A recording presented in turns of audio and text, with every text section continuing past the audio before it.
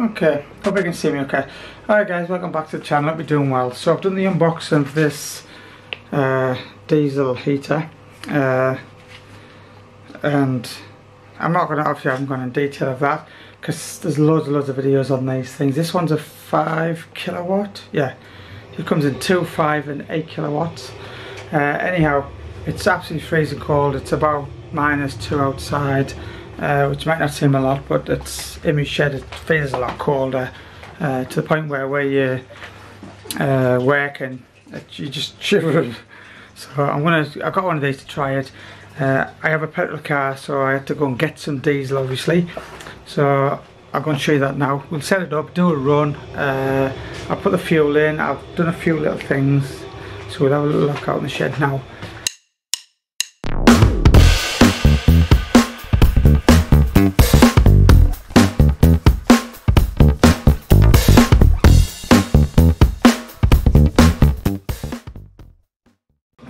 shed or the side shed. The way you can hear that the heat is on now, I'll put the other light on so we can see a little bit. So let me just point you at the heater.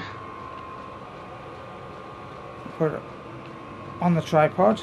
Just let me readjust. Okay, so as you can see, I just put it about here, maybe there as you can see I've put that tank on the top. Uh, it's it's running on so inside the main tank I'll just put that down a bit. Uh, where's my light? The main tank which is running off now where you can see that's clean diesel that's uh, like white diesel for a car. And I've got not so clean stuff up there which is more like a biofuel with petrol and a little bit of uh, engine oil and so on. And so that's spending that. So I got this tank off Amazon. Just moving a bit closer you can see. And there's loads of different types. I just wanted a, some sort of vessel to hold that.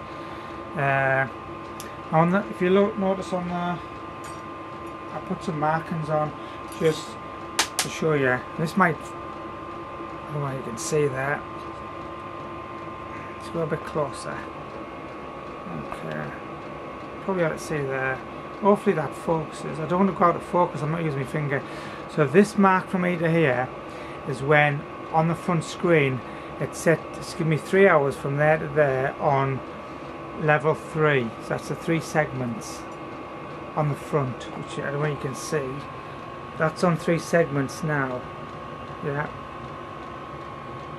So I think there's six in total. Yeah, so that gives me three hours on uh, level three, which is not too bad considering it's only a small tank. I'll give you the dimensions. The top is uh, three inch and the bottom is four inch, five inch, uh, and the height is three inch. So it's not a small. It's not like that big, it's a tiny little tank. But for three hours, that's, that's okay. Now this bit here, I measured from there to there, so that was one hour on, on level six, which is full. So you could probably say like that, it's going to get two hours, two hours and a bit. And then this final one, which is measured from there to there, that was four hours. And that's on level two, so one level down to what we're on now. Yeah so and this is going to be switched over shortly. Now it's been on it's been on this tank for about 30 minutes. So normally I run for about an hour or two to get really hot. In fact I'm going to turn it up to maximum so it gets about 200 centigrade so it cleans everything out. Really hot. That's what I'm trying to do. Let me just move these. Move them really. Just so you can see. There you go. It should pick itself up. I'm on the uh, alpine mode so which gives us about 200 198 200 centigrade. Something round about there. Uh, it just saves a bit of fuel. And then what I do is once it gets up to temperature, I'm going to turn this on. And there's another one just down there for this. So this this is for this tank obviously. And the other one's down there. What I used is these things. I don't know whether that's going to focus. Just off a fish tank. So one of them goes from the pump. So that goes to the pump. One tank, the other tank. Yeah, that's all I've done. Uh, you could possibly like hunt around for some things like this and when that's focused.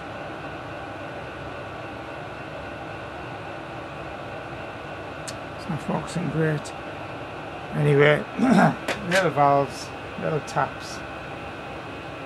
So that's what I've used anyway. Anyway. So what I'm going to do now is just wait till it ramps up. You can actually turn that off if you have to. And then it'll go, that's full blast. Um, takes a little while. I just thought I'd show you this anyway guys. Uh, so what I do is I run this for one hour till it's really hot. Um, and then I'll switch over to this and then I'll put it on level 3 which gives me 4 hours. It's, for me it's perfect. Uh, some people may want longer but that way this tank's going to last just for starting up and closing down. If you start it up on this obviously it might not start and you might get smoke and things so this comes out clean the exhaust. Show the exhaust now. Well, the exhaust goes through there, goes through the wall. You can see there's the exhaust there. That's it. Nice and clear.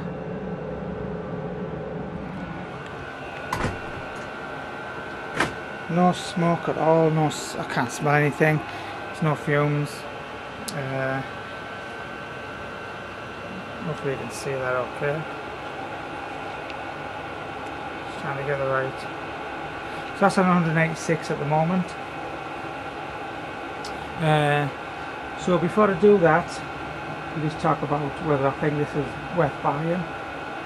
Absolutely. This is one of the best things I've bought in a long time. Uh, normally I wouldn't do any work in this shed until the summer. It's just too cold unless you get wrapped up. It's just really too cold. Now I'm always messing about out here. I might even get one from the other, but I've got a shed at the back in the back, the far back. I might, it's just my wood shop. I've got like wood saws in there, table saws. I might get one for there, but then again, I don't really go out there a great deal.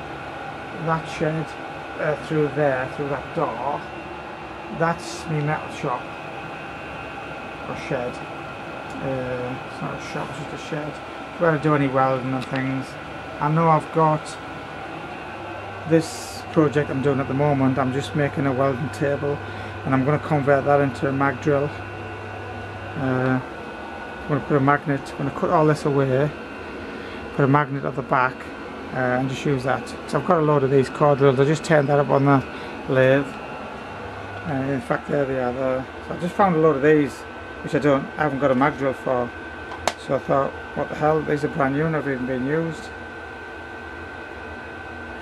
So I'm hopefully going to use that. Uh, there we are 206 if that focuses. Hopefully that's focused. Closer and that now is lovely. So what I do now 210 so what we'll do now is can you see me? I don't want you to see. I'm just going to turn this, open this, choose down, up, up, and then I'm going to turn the other one off. What? So that one's off now. So now we're running solely, I can't see. Sorry about that guys, I knocked the uh, record button off. So now we're running off this one now. So what I've done is I just set a timer. Stop that. Uh, be able to use this now.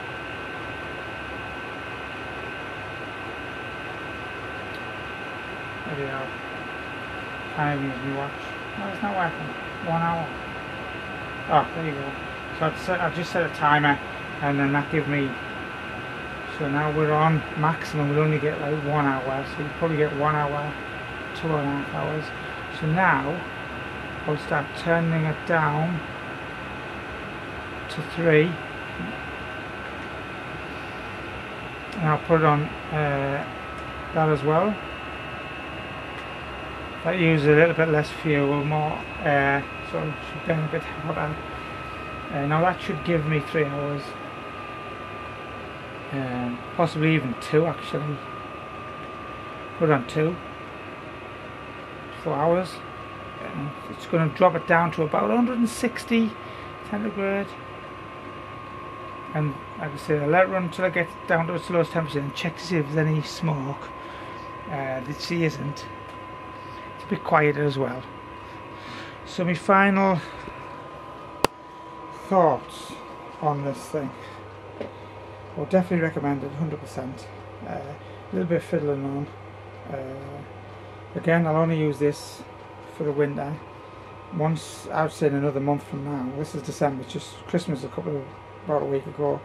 Uh, then I won't use that until the winter again. Uh, and them two tanks, uh, 10 litres, 20 litres each, so there's 40 litres there. That'll do me for what I need.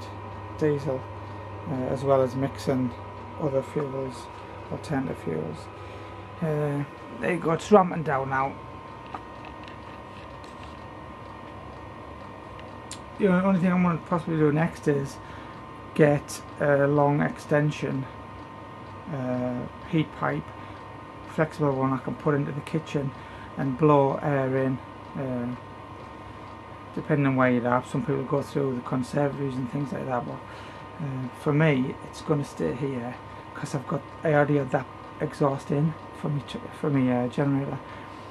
I'm going to put some stronger uh, bracings on these legs so it doesn't wobble a bit. And that's really it. Uh, oh yeah put some little clips on the side to keep them uh, in place.